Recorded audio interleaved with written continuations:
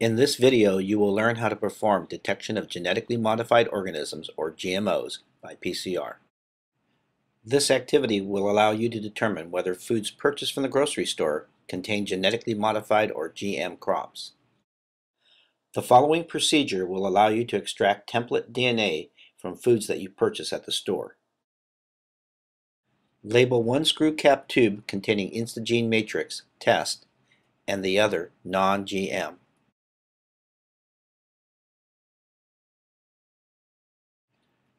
Weigh your food sample from the grocery store and record the mass. Put the food sample into a mortar. Add 5 milliliters of distilled water for every gram of food.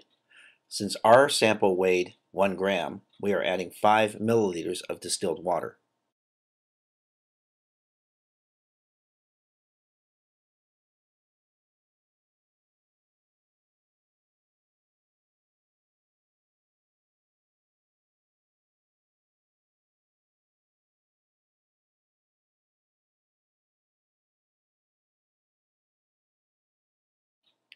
Grind the food with the pestle for at least two minutes to form a slurry.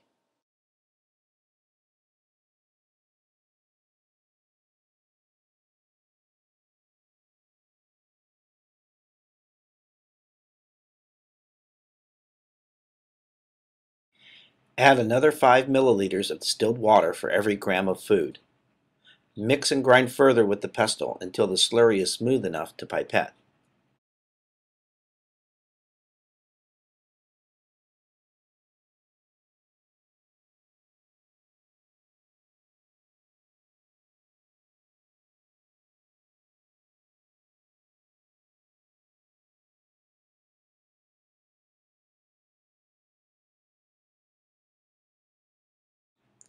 Use a graduated 1 milliliter transfer pipette to transfer 50 microliters of ground slurry to the screw cap tube labeled test.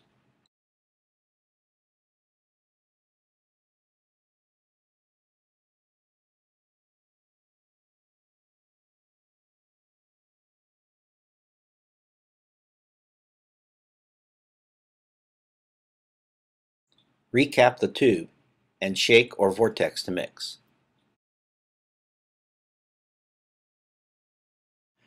Repeat this extraction process using the certified non-GM food.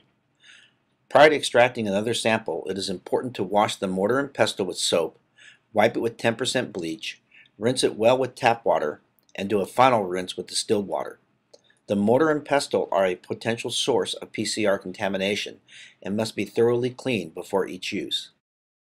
Incubate the non-GM and test screw cap tubes at 95 degrees Celsius for 5 minutes.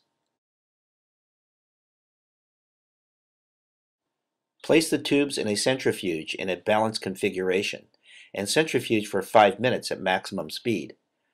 If you are using a mini centrifuge that can only reach 2000 Gs, centrifuge for 10 minutes. This is a good stop point for this activity, depending upon your lab schedule. The samples can be stored at 4 degrees Celsius for up to a month but do not freeze the samples.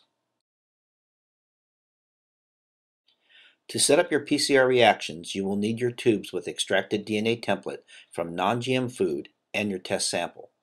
You will also need a GMO positive control DNA and six PCR tubes.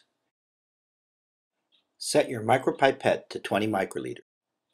Always use aerosol barrier tips when setting up PCR reactions to prevent transferring aerosols from the pipette to the sample. The master mix should be kept on ice until you are ready to use them. The plant master mix is green. Pipette 20 microliters of plant master mix into the corresponding labeled PCR tube for each DNA sample.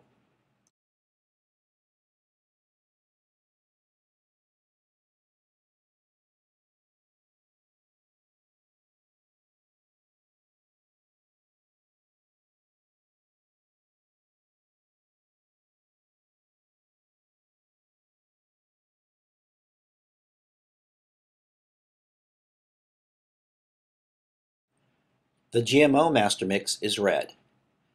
Pipette 20 microliters of the GMO master mix into the corresponding labeled PCR tube for each DNA sample.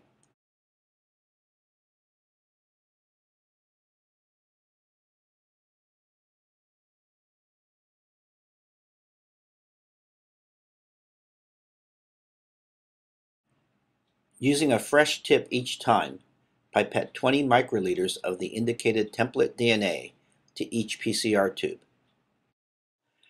Make certain when you are obtaining your DNA sample that you are drawing from the upper supernatant and not from the pellet of InstaGene matrix at the bottom of each tube. The InstaGene matrix will inhibit the PCR reaction.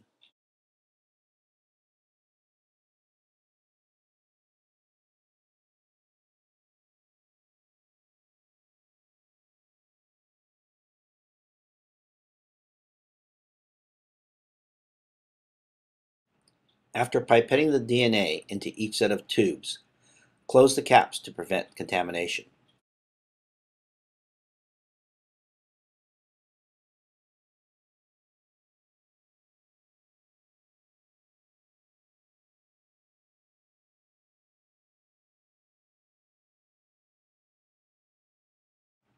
Repeat this process with the other DNA samples.